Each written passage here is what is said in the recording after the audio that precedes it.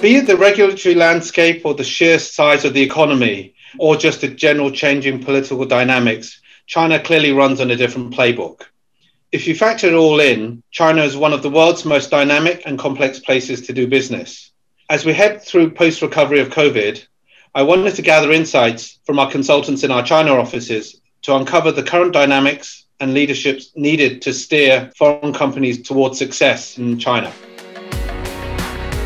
Hailong, I'd like to ask you um, what kind of major hurdles are you seeing on the ground for foreign companies in terms of doing business in China today? Many multinational companies have an added caution uh, because of the global political environment reality. Uh, so when it comes to major investment decisions, uh, that process seems to start taking longer. Uh, so that is certainly one observation. But on the other hand, uh, we cannot ignore the sheer size of the Chinese economy, and it will become further a powerhouse for the world economy. And the market size is huge. So that two factors putting together, uh, you know, will still be very attractive to any multinational companies. And Grace, coming out of post COVID and how quickly China's recovered, what are the challenges for foreign companies that want to access China's consumer market? Yeah, I think as uh, complexity and ambiguity based upon the observation that we have uh, on the ground. So it seems that all the multinational companies of the consumer-faced industries, they are reviewing and re- evaluating the role of the China market to play in their overall global strategy.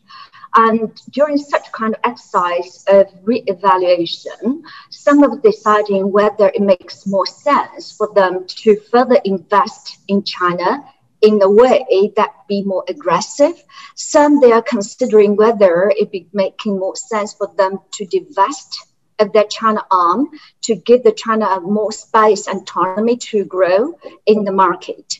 So we are observing those kind of different range of activities, and it's definitely interesting for us to keep on watching. Ed, in the technology space, we've seen a lot of noise in the macroeconomic environment.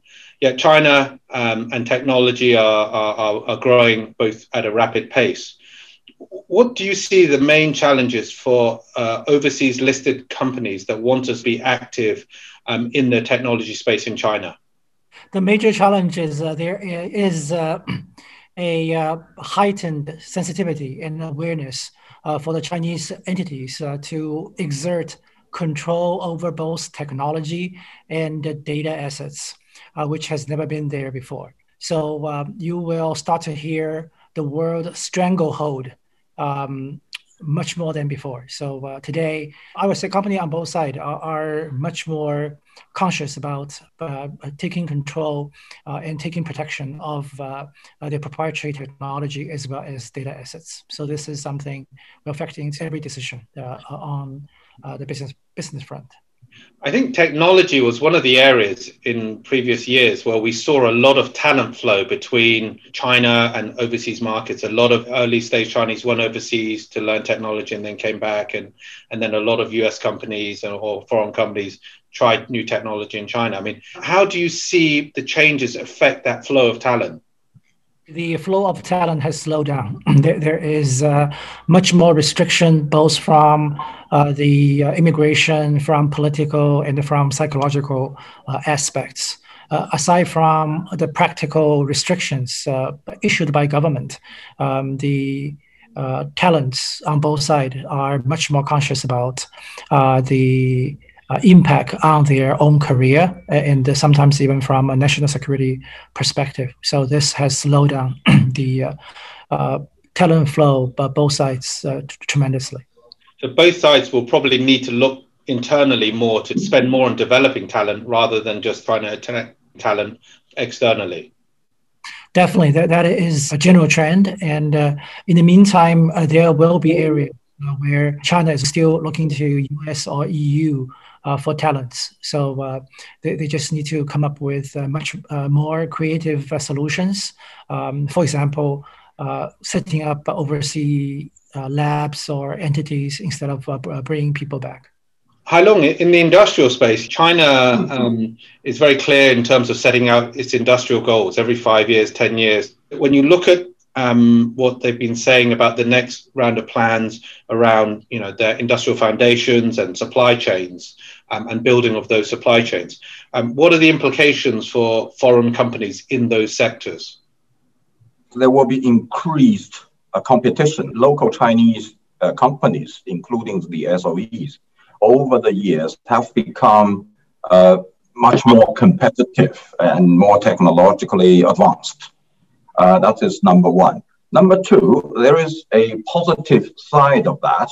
Compared with other smaller economies, China would offer a more complete supply chain, uh, which is vital for any industrial economies. On the one hand, there will be growing competition, but on the other hand, uh, do not underestimate the attractiveness of the Chinese uh, market. Uh, by that, I mean the better uh, complete supply chain that is available locally, uh, which is a huge competitive advantage.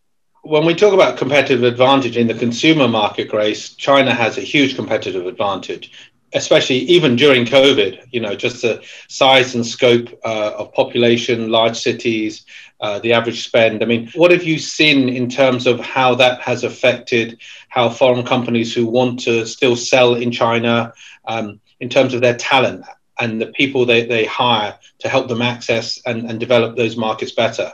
Yeah, I probably would like to take one step back, you know, before I answer this question in the view of the consumer-faced companies, because what we have observed, particularly in a post-COVID-19, there is what we call co-occurrence of both the consumption upgrading and also people's mindset shifting from like expensive means good quality uh, to like value for money. So mm. that actually creates a lot of implications to how those multinational companies need to conquer both the market share and the mind share in a way that look at, for example, the sophistication of the consumers in this market. And also in terms of that shifting to experience oriented and service oriented consumption. So that is number one. Number two is regarding to the technology and also those kind of effort to capture in the China market, allowing those lower entry barrier of those consumer-faced startups you know, to build the business model that with the high quality offering but with low price. That has a huge competitive advantage. And then if you look at those getting more matured you know, platform native digital players, they actually allow those kind of consolidated bargaining power among consumers uh, to penetrate further into those geographic areas. In the past, it's so challenging for those multinational companies to penetrate into.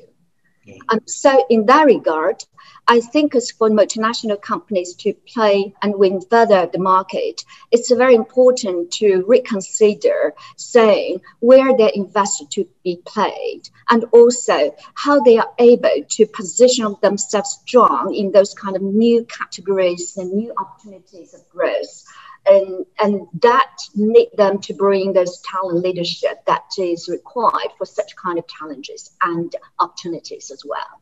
I think in the consumer market, we've seen a lot of the foreign multinationals have come to China and initially, at least, very much relied on brand power. And, and sort of um, the brand sells itself to a certain extent, but we're seeing China's developing its own tastes, its own styles, um, its own levels of sophistication.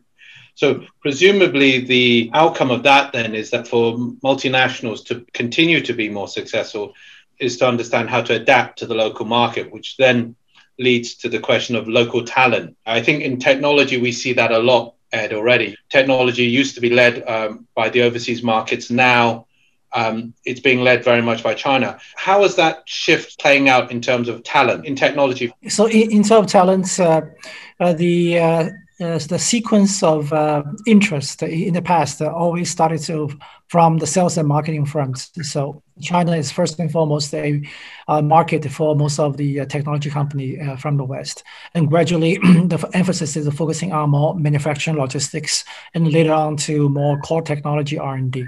So uh, that trend uh, will continue. We are seeing companies are moving in waves. For example, the first to come are the largest, the Fortune 500 uh, of the world's later on the Russell 2000 of the world's and even start to see startups coming to China. That they are all following this flow. So uh, this pattern will still continue. But because of the implication from COVID, especially the political and geopolitical angle, you start to see some interesting nuances in uh, the diversification of uh, talents, especially in the area of compliance and the risk and control.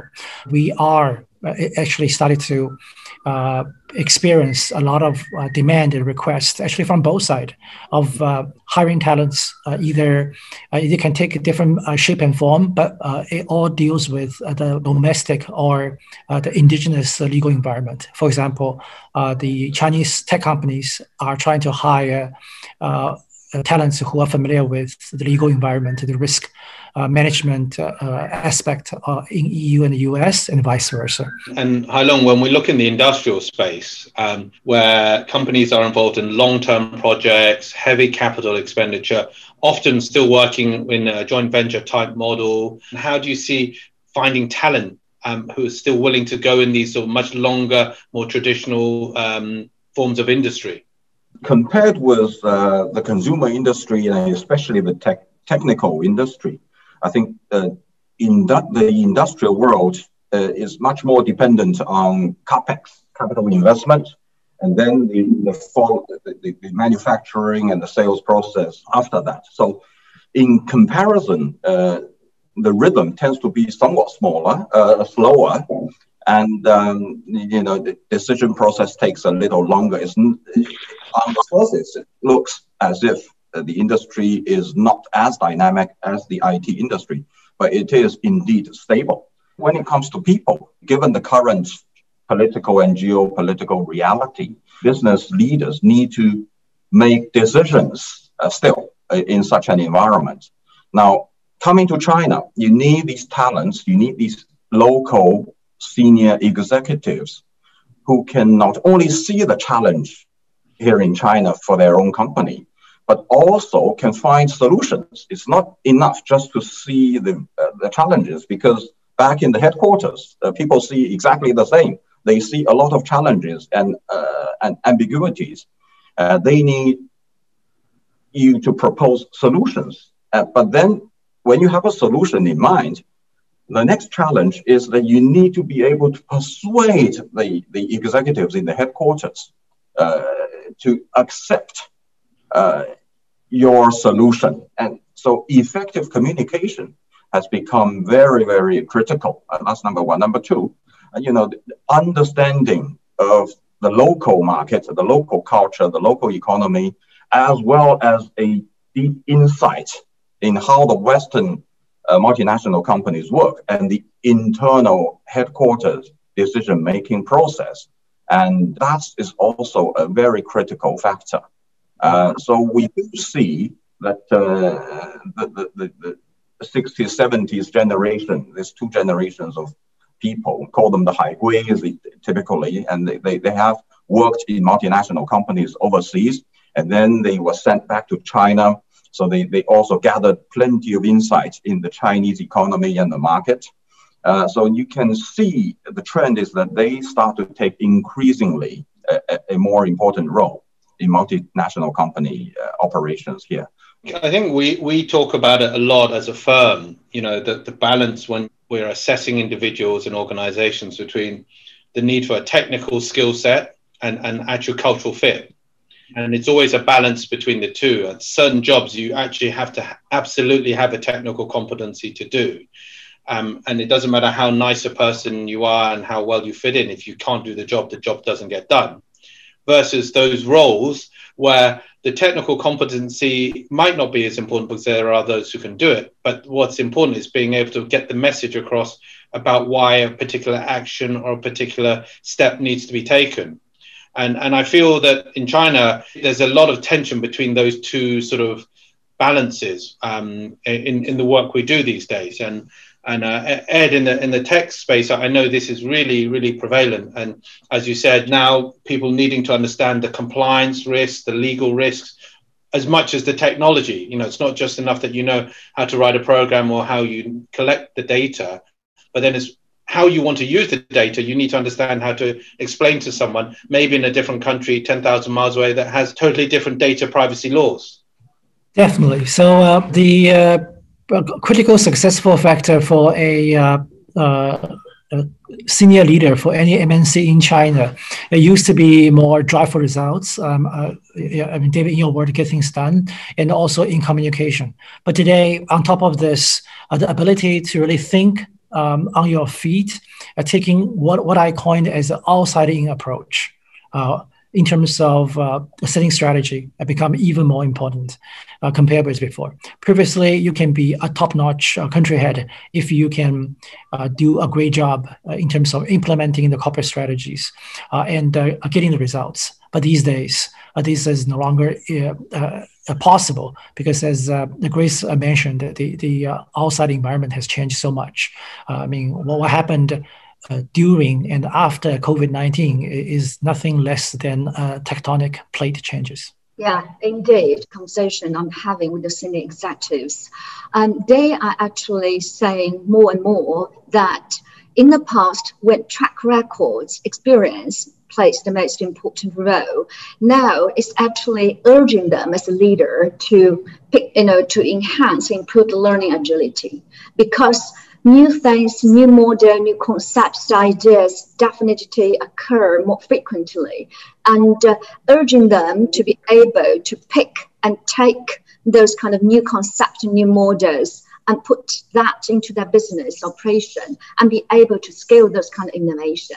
So such kind of competency is really critical to develop. Yeah. I spend a lot of my time in the industrial sector talking to companies about people and it's interesting people are to a certain extent, are less worried about what people did in the past and more focused on what they can do in the future. Indeed. But, you know, and Hai Long in industrial, you and I work closely on many things.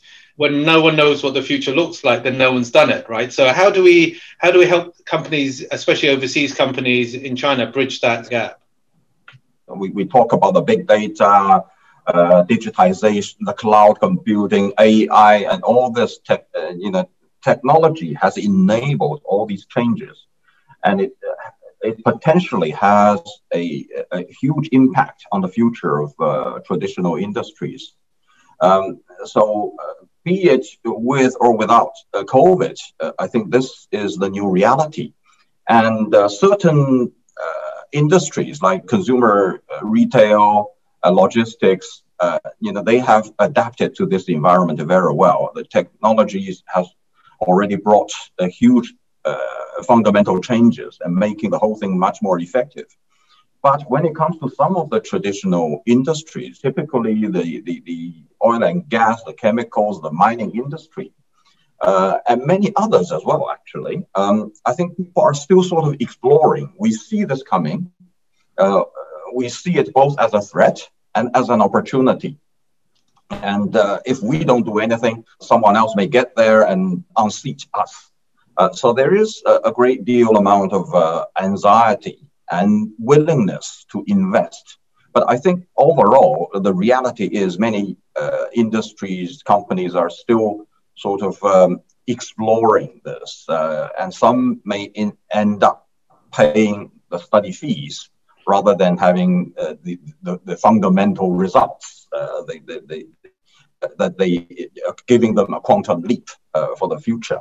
Uh, that's just the reality. Uh, you know, coming to China uh, is the same thing. Uh, and I would tend to think that um, uh, the local Chinese companies are very often more flexible and willing to take that approach. let's try and see.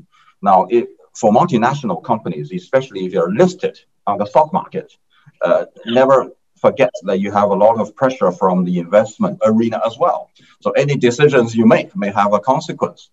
So I think that would ex- indeed extend the decision making process. for yeah. many multinational companies. I'm yes. glad you brought up the listed company investors pressure scenario because yes. one of the things that we've seen a lot of in the last 18 months globally and also within Asia Pacific and I'd love to get your views on is the impact of, of uh, both ESG initiatives um, and also uh, D&I. Ed, how do we see D&I playing out or, or ESG in the tech space in China? Well, they, definitely play a role. I mean, ESG, interestingly, is not only something uh, the Western companies are championing, but uh, uh, it was also being uh, propelled and uh, set, uh, put up by the Chinese government's initiatives. So, so this is very much in everyday conversation. but that said, when we are coming into the uh, actual situation of uh, leadership succession or leadership replacement, we are still seeing, uh, in terms of top of agenda, uh, in, terms of strategy setting, um, finding sustainable growth opportunities, uh, dealing with changes um, on a broader plan rather than specifically for D&I or ESG at the moment. Um, but uh, I do want to circle back, David, uh, and just edit a, a, few more comments regarding the earlier uh, conversation, passing comment regarding the learning agility, uh, yeah. or in other words, growth mindset. While Hailong is absolutely right, there are many companies still uh, taking a, uh, a, look and see attitude toward um, uh, people with learning agility, but less of uh, kind of uh, track record. I'm also seeing uh, some of the largest international uh, companies uh, who is willing to actually take a plunge into this. In, in, some of our recent assignments, you know, with company with a multi-billion dollar business in China, I mean these uh, country head positions used to go to people with 25 or 30 years of experience, but they actually are willing to take a leap of uh, faith to uh, give those positions to people with uh, less than 20 years of experience, but who demonstrate much higher, uh, what our client called a growth mindset in the learning I think we definitely would see that more in the tech space. I think in the industrial space, where the nature of the businesses, especially in, in some of the areas we work in, in energy, um, utilities, those areas, the, the, the reality is however much they want to transform themselves, they also need experience of running those businesses because they're so critical. Um, Grace, I know D&I in the consumer space is front and center for a lot of multinationals. But uh, how, how, do you see D&I in, in China in particular, and how um, large multinationals might look at those issues? So our observation is that even talking about D&I is more correlated with strategy. For example, we look at all those latest placement of those non-executive director or those advisors to those global consumer companies.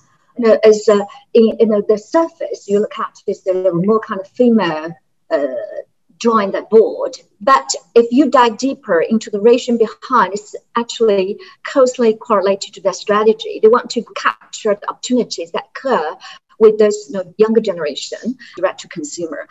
I think that's really interesting because one of the things that people forget about diversity or, or, or, get lost is actually age.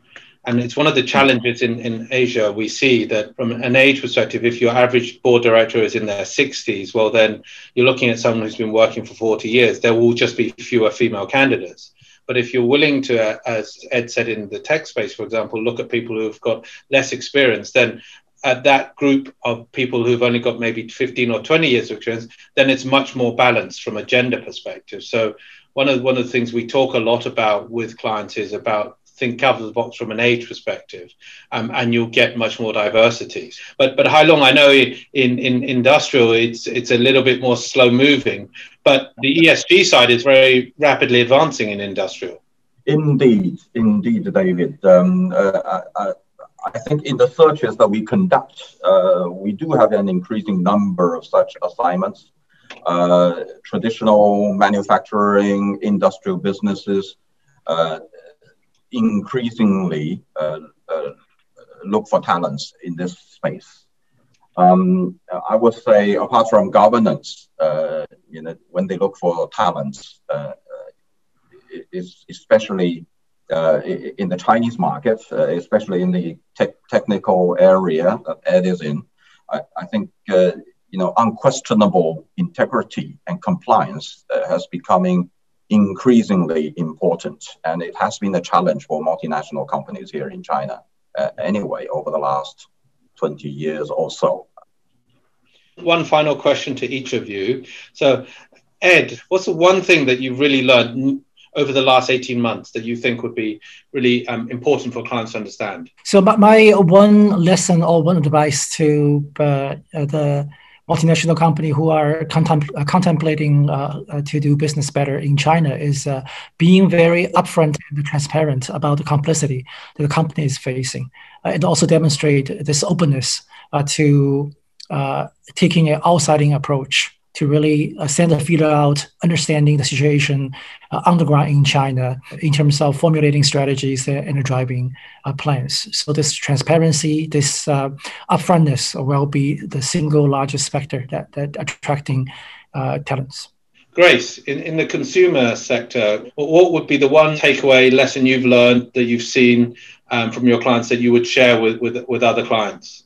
Yeah, I think as remain alternatives and stay focused in the meantime, bold enough to make trade-off option decision. Hailong in the industrial space, what's the one key thing that you would like to pass on to clients? The advice is before you uh, come to China, uh, before you uh, expand further in China, seeing all the challenges, ask yourself, what do you bring to the China? It's the product, it's the, the capital, you know, the technology or what? And then on that basis, how do you want to play? Joint ventures uh, by yourself, you know, these are all the options. Uh, and then you really need somebody who's an expert uh, uh playing that bridging role between the West and the East. Uh, they know the local uh, nuances very, very well. They have all the insights and the necessary uh, knowledge of how, how the decisions are made here. But then on the other hand, they can be very, very effective back in the headquarters. Uh, so finding that somebody uh, is a tall order. Uh, and that's what we are here to do, to help. Thank you, everyone. Thank you very much for your insights and uh, look forward to seeing you all soon. Thank you. Thank you